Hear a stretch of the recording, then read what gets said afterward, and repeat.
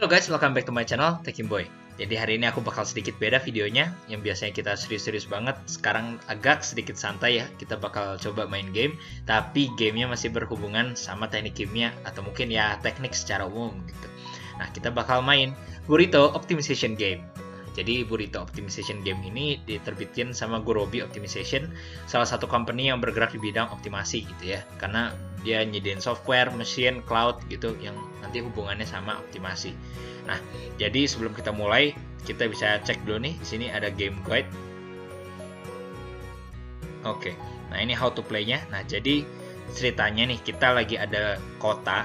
Nah, di sini namanya Burritoville. Nah, jadi si kota ini eh, kita bakal menjalankan bisnis.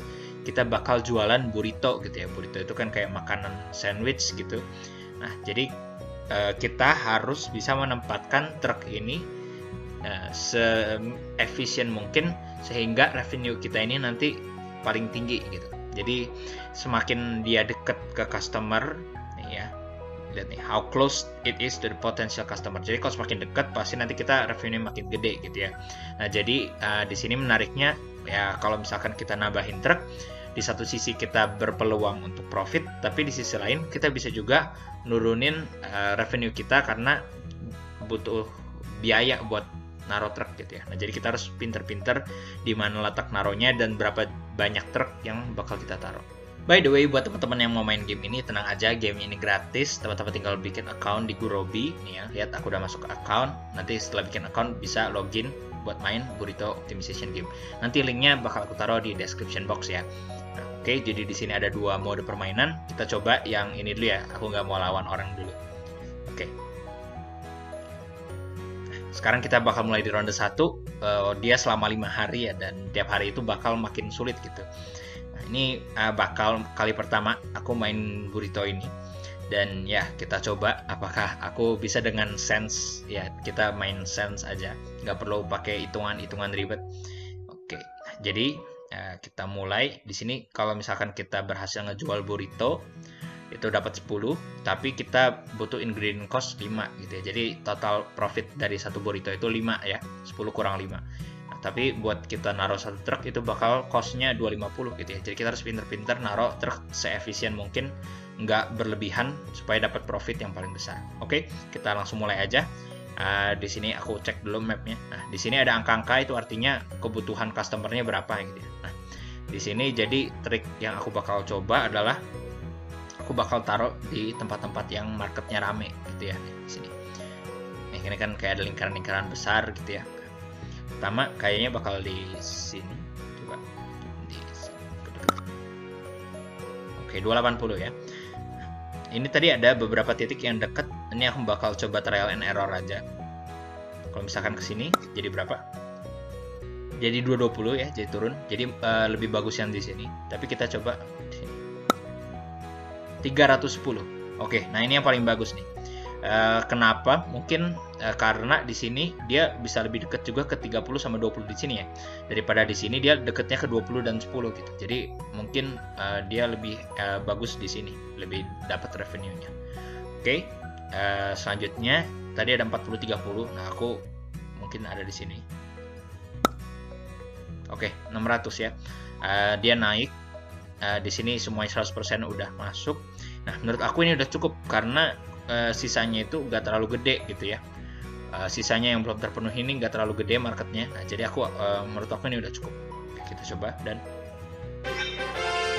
Wih oke, siap, kita berhasil ya. Karena uh, solusi yang kita tawarkan itu sama dengan Optimal Solution yang udah dihitung sama mesin dari Gurobi gitu ya. Nah, lihat nih bisa dilihat mesin itu canggih banget dia bisa nemuin optimal solution dalam waktu 0,158 detik gitu ya. Kita tadi mikir berapa lama ya. Tapi ya namanya juga komputer gitu ya, udah ada algoritmanya. Oke, jadi itu dia D1, kita coba lanjut ya ke D2. Nah, sekarang apa nih? Sekarang belum ada apa-apanya masih sama.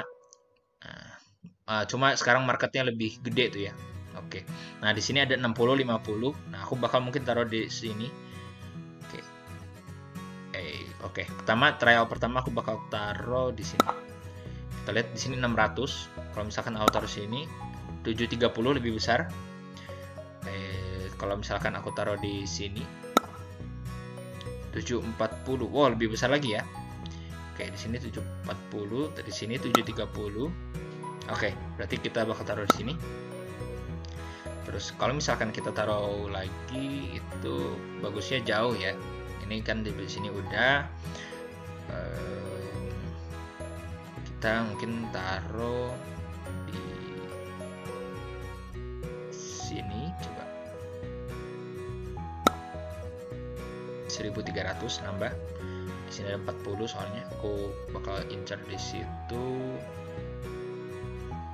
Di mana lagi ya kita taruh? Nah, kita misalkan coba taruh di sini nih di dekat-dekat sini.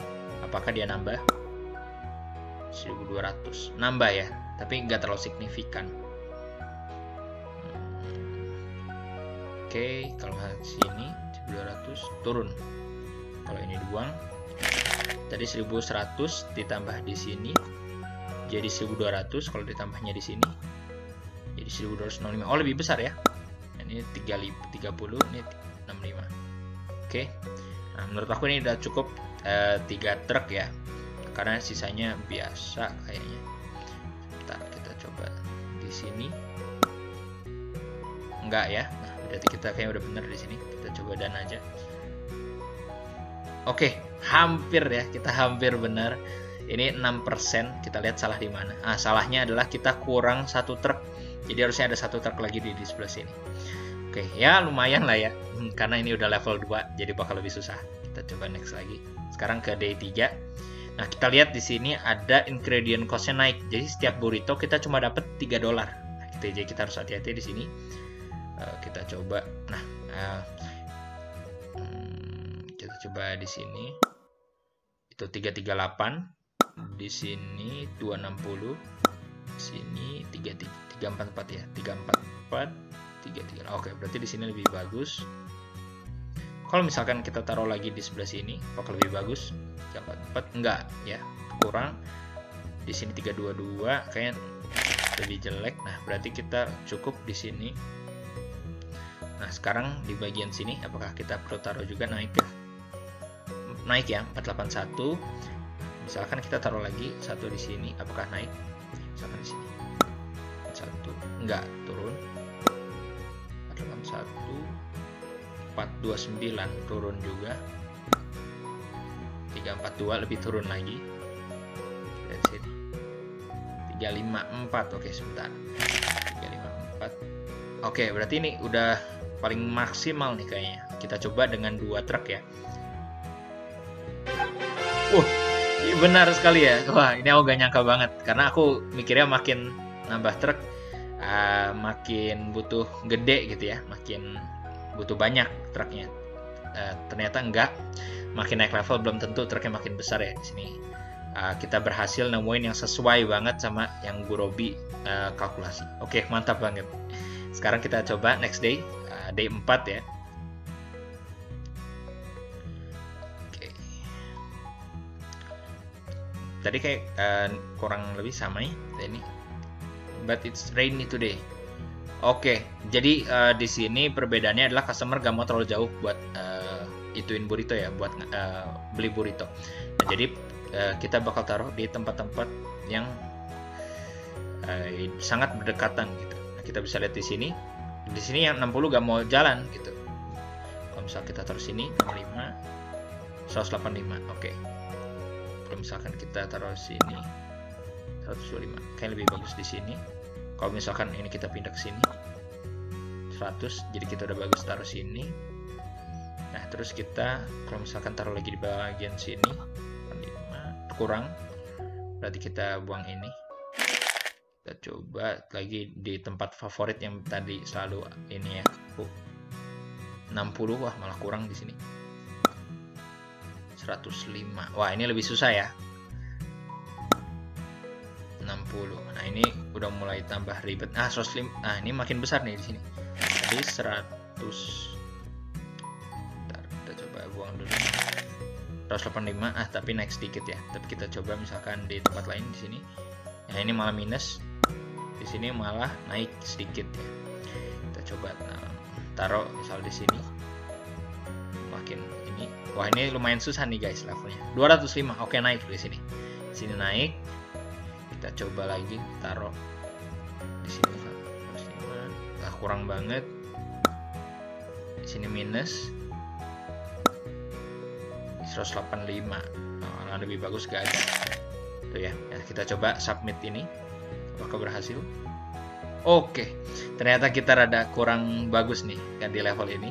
Kita berhasil nebak satu yang benar di sini.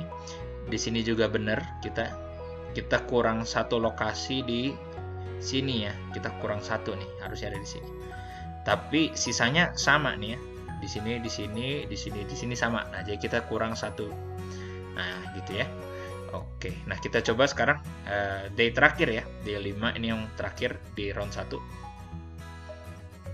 hmm, tadi newsnya adalah uh, nah ini itu ya balik ke normal. Kita coba kita di sini. 1400 kalau misalkan ke sini kita 1500 lebih besar. Terus kita coba taruh di sini.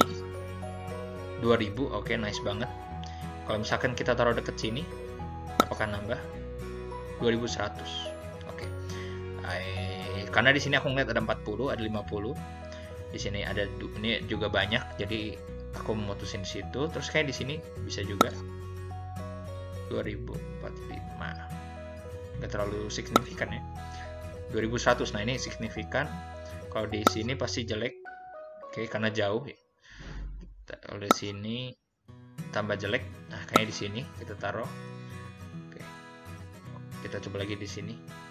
2100 nah ini makin bagus lagi. Oke menurut aku di sini paling cocok.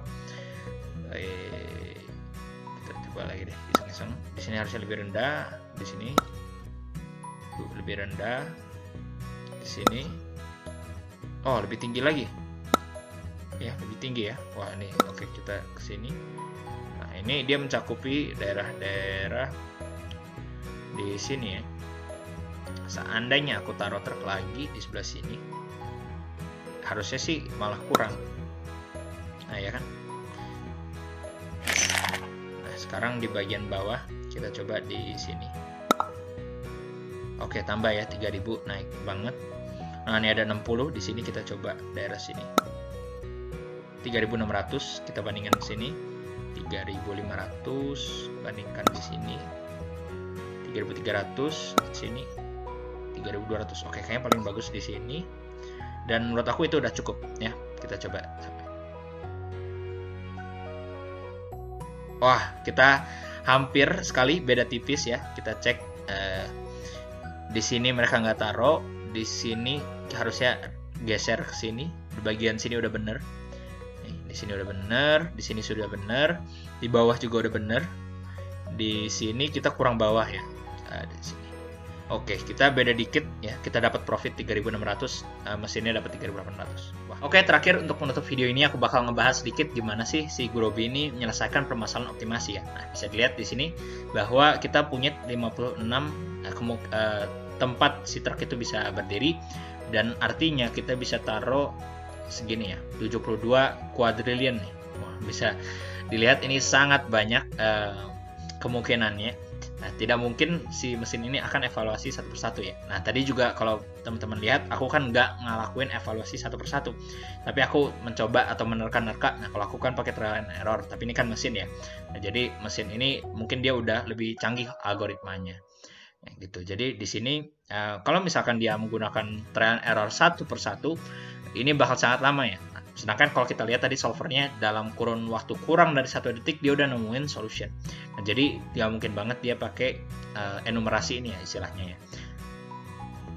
Nah, oke. Okay. Nah, jadi yang dia lakukan adalah dia menggunakan IP ya, IP problem integer programming. Nah, kenapa pakai IP? Karena di sini kita berhadapan dengan permasalahan integer um, bilangan bulat pertama dari segi jumlah truk gak mungkin jumlah truk itu koma gitu jadi pasti dia trial and errornya itu pakai jumlah truk yang bilangan bulat 1 2 3 4 5 gitu terus juga posisi uh, lokasi itu kan dia juga berupa bilangan yang bulat. Istilahnya itu kita nggak bisa sembarangan nentuin lokasi di setiap titik gitu kan. Tapi udah ada titik-titik tertentu.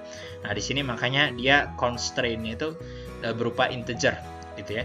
Nah jadi uh, di sini dia pakai IP di sini uh, dia bagus banget tuh uh, udah algoritmanya segala macamnya bisa dibaca sendiri ya di sini nah, tuh, di sini ada matematisnya nah itu ya jadi memang si Gurobi ini sangat handal sekali dalam menyelesaikan permasalahan optimasi. Oke, segitu aja video kali ini. Semoga bisa menghibur dan semoga bisa juga menambah keingintahuan teman-teman di bidang optimasi ya. Karena zaman sekarang engineer ini uh, penting banget buat bisa optimasi ya. Uh, cuma di tech game doang, tapi ya engineer apa pun menurutku penting buat bisa optimasi ini. Oke, jika teman-teman suka video ini jangan lupa untuk like, comment, dan subscribe. Dan sampai jumpa di video selanjutnya. Dadah!